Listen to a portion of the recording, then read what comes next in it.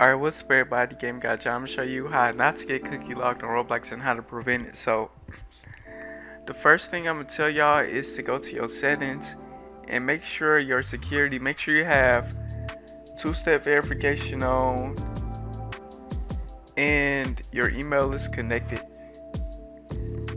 And also you want to have an account pin too. Make sure you have an account pin.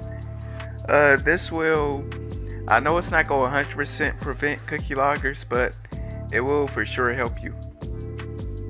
Alright, so if you do get cookie logged, you can press sign out of all sessions and it will set your Roblox security, which is basically your cookie for Roblox. You can also clear your cookies. It's good to clear your cookies every once in a while. So to reset your Roblox cookies, you can right click on your mouse, press inspect, go to application, and then from application you just want to go to cookies go to roblox then you can clear your cookies like that. That's one way to clear your cookies on roblox. Also if someone tells you to post like a javascript and then press enter do not do that. Do not paste javascripts and then press enter on any web browser. You should not be doing that. Do not do anything with scripts unless you know exactly what you're doing which most y'all probably don't so yeah, do not put JavaScripts in the Impress Center. Don't do that. So, you don't want to. If someone asks you to download a HR, send you a HR HAR file, do not do it. Like it's obvious you shouldn't be doing that. Uh, if someone's going to make a GFX for you, then they want to need a HR file. I don't know how people fall for this, but uh, do not do that. But the second one is like always check links, especially on Discord. Always check links because it might be something like www,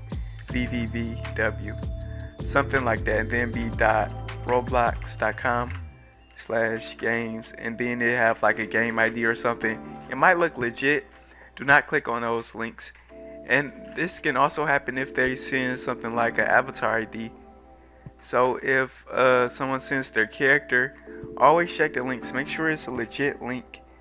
Do not click on any suspicious links.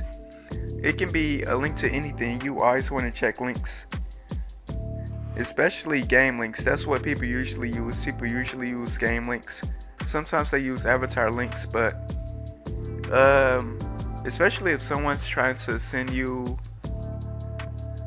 uh, make a free GFX for you uh,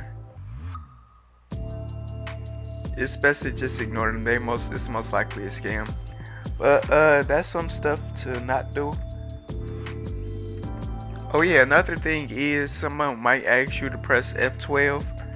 Do not do that because F12 opens up uh inspect element and basically they can see your cookies. Especially if they ask you to show, show your screen and press F12 and also if you press shift control I uh, that also brings up inspect inspect elements so don't do that. Yeah and like I said don't download sketchy don't don't like I said don't download sketchy links or nothing like that. And also uh, if you use Google Chrome extensions watch out because there are fake uh, Roblox Plus extensions that uh, steals your cookies and stuff like that. So definitely watch out for that and don't and don't ever touch your Roblox security or your Roblox ID. Uh, especially if you don't know what you're doing, just don't touch that at all. Alright, that's really all I got for this video. Thanks for watching. If you enjoyed, please leave a like, share, subscribe. If it helped out, uh, leave a comment down below. If I missed something, leave a comment, let me know. That's really it for this video. Thanks for watching. I'll see you on the next one. Peace out.